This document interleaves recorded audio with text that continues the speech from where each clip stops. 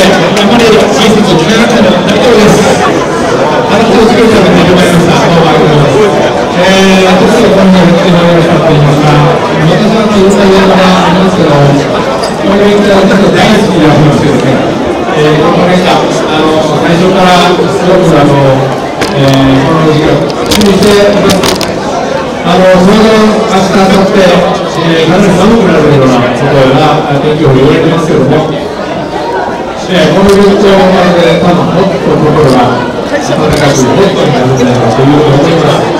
あの若い人は非常にそういうことにね、あの家庭とかあると思うんですね。あのここにしか今回はこれ、一つでしょ、言われて、すごい人のないと多いような気がします。えー、非常にあの嬉しいなと思います。えー、全国のいろんな企業の方々が来られてますけども、えー、今年から日企業の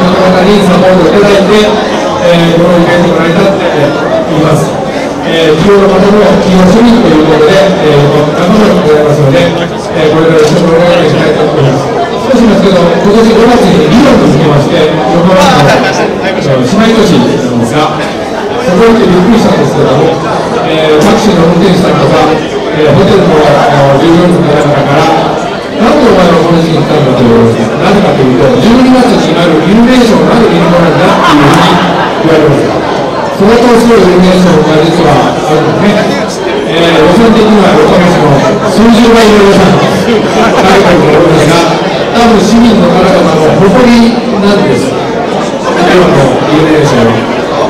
で、私このイルミネーション、あのぜひこのスカイ都市でリオンのあの追いつき、追い越せ上がるようなイベントに、ぜひ皆さんのお力になったところに、えー、育て上げていきたいなと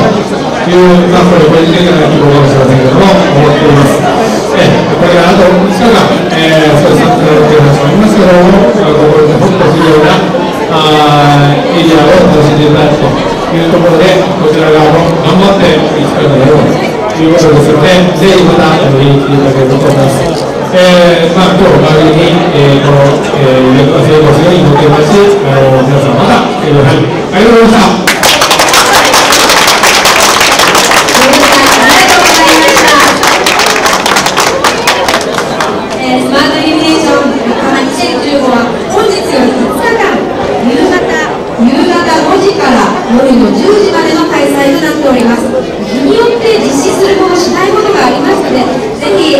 プログラムをご確認の上お楽しみいただければと思います。皆様最近では SNS などもございますのでぜひ情報を見させていただいてなるべく多くの方にこの雰囲気を